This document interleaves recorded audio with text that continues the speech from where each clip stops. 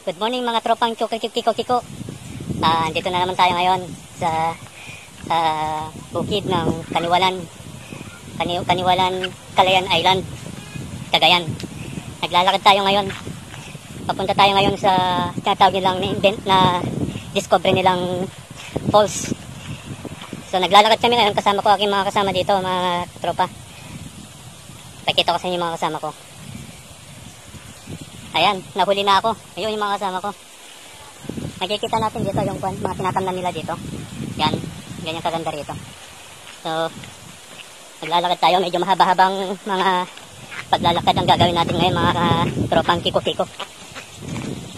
Napakaganda daw yung falls na pupuntahan natin ngayon mga tropa. At ito yung falls na Virgin Falls. Dahil wala pang gaanong pumupunta rito bago lang siya na-discover. So ito pa yung ilog. Yan po yung ilog, ilog nila rito. Yan. Ayan pa yung mga tinatamnan nila, mga tropa. Ayan.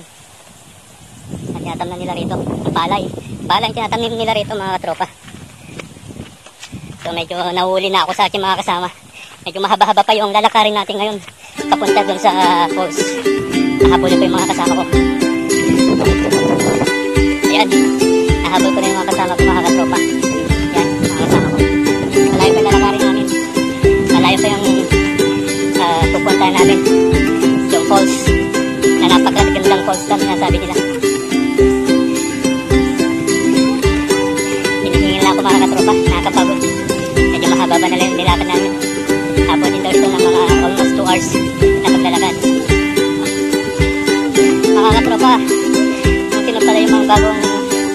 Followers natin dyan, uh, huwag kalimutan mag-subscribe, pindutin yung notification bell, at mag-like para at updated kayo sa mga vlog ko.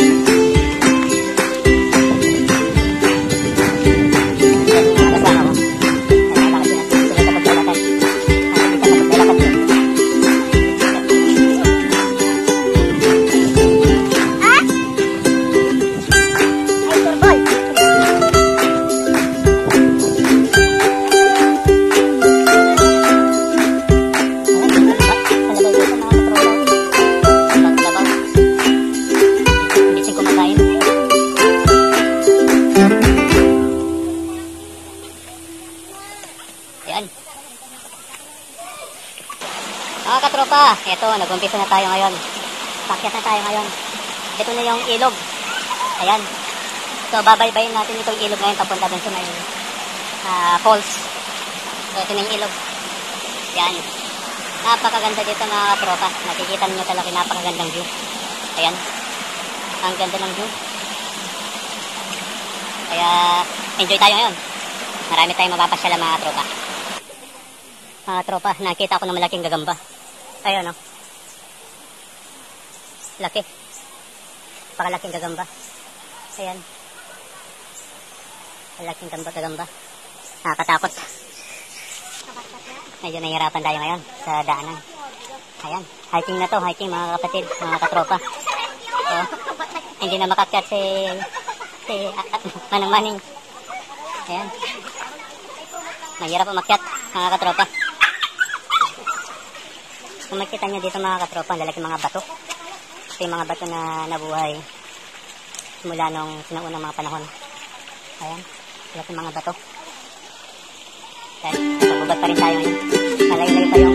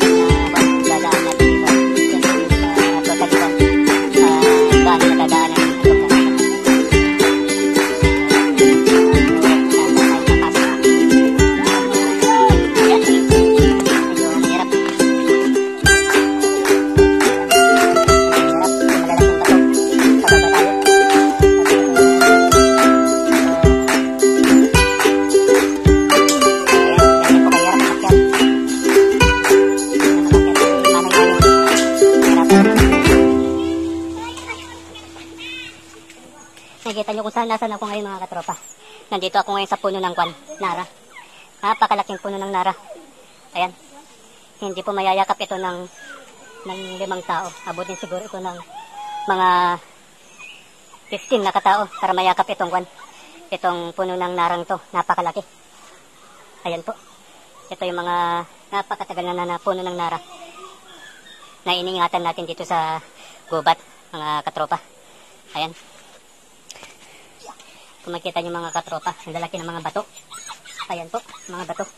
Sobrang naglalakihan ng mga bato na ating mga nadadaanan ngayon. Ayan. Ganyan po lalaki mga bato dito mga katropa. So ito, akit ako ngayon dito. Papasok din sa mga kasama ko. Kaya medyo naiiwan na ako mga katropa. Eh, ito kahirap mga katropa. Ang binabaybay natin itong kwan. Malalaking bato papunta dun sa falls. Nasa baba pa rin ako mga katropa. Nandun na sa taas yung mga kasama ko. Ang layo. Malalaking mga bato. Mahirap na daan. Pero kaya natin ito mga katropa. Suportan nyo ko mga katropa. At akyat na naman ako ngayon. Ah! Ayun mga katropa. Yung kwan. Ah... ang kwan siya. Siya yung tagabantay ng mga puno. Ayan. Ganyan po kalalaki ng mga puno na binabantay niya. Siya si Let, Letong. Pag Letong sa umaga, Let sa gabi. Yan. Laki ng puno. oh. Yung pan pa lang niya, yung mga mga roots pa lang niya, malalaki na. Kakaibang ng puno. Ang laki. Ito, ah, ito na yung pangalawang kwan. So, di bali, dalawa pala yung kwan dito, yung ah, falls dito sa kaniwalan, sikso kaniwalan. So, makikita natin ito, ito na yung pangalawang falls. Yung kanina, galing tayo sa kabila, yan yung unang falls at ito yung pangalawang falls. So, hindi na sayang yung pagod natin sa pagpunta dito kasi dalawa yung falls na napupuntahan natin. So, ah, tropang kiko-kiko, ano pang gagawin natin? Tara, dali na tayo!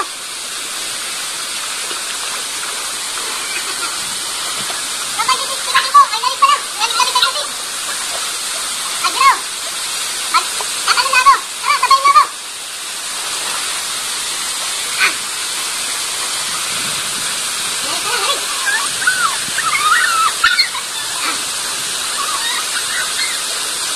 Ah, tropang kiko-kiko, hindi ko kaya yung lalit ng tubig. Basta sa, sa falls pa lang, wala. Tropang Tiko-Tiko, ah, finally, nakarating din kami ngayon dito sa falls. Na kung saan makikita nyo sa likod ko yung napakagandang falls. Ayan. So, yung mga kasama ko ngayon, medyo nagre-relax na sila. At maraming salamat sa Diyos at nakarating kami dito na safety kami.